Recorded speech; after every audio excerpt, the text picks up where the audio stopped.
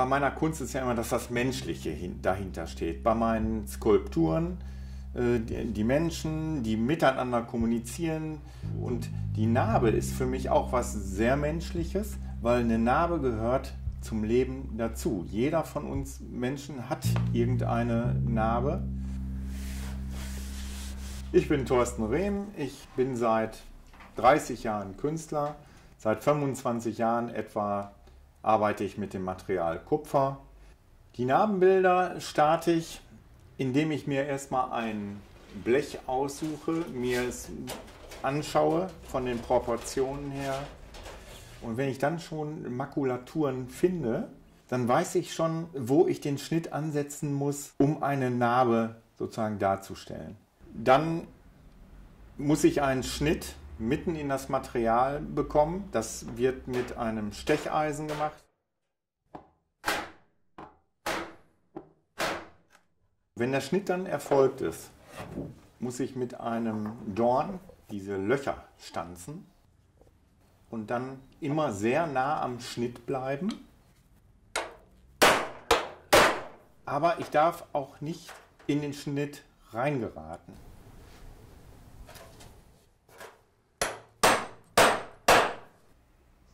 Das heißt also, es ist ein, schon ein genaues Arbeiten.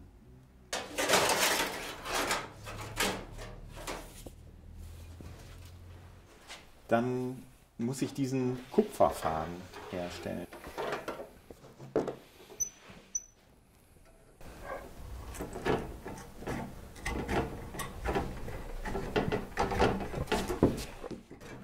An Kupfer ist das Gute, dass es ein recht weiches Metall ist, was sehr gut zu verarbeiten ist.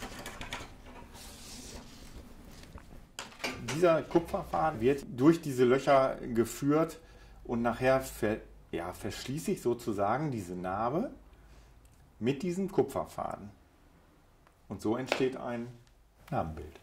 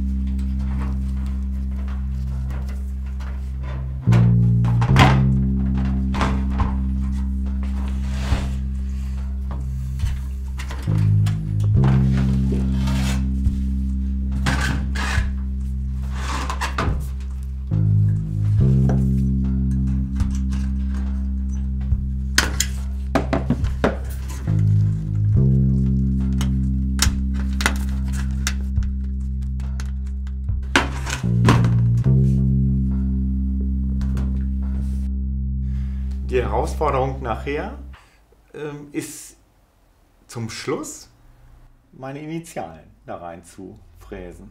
Äh, da darf ich dann auch nicht abrutschen, das würde jeder, jeder sehen.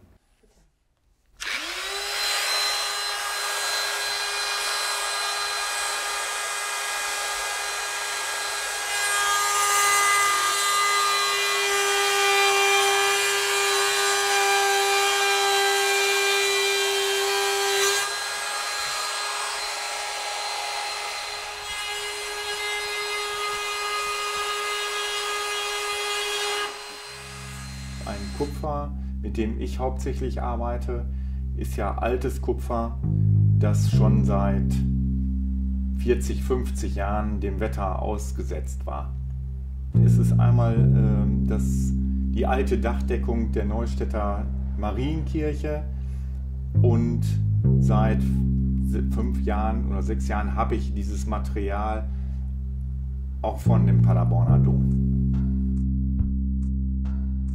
die Farbe und die Patina. Das finde ich so sehr interessant an diesem Material und das fasziniert mich. Namen in der Seele, das gehört schon dazu in meinen Arbeiten. Das ist so. Die Wunde wieder zu schließen, hat ja auch was mit Heilung zu tun.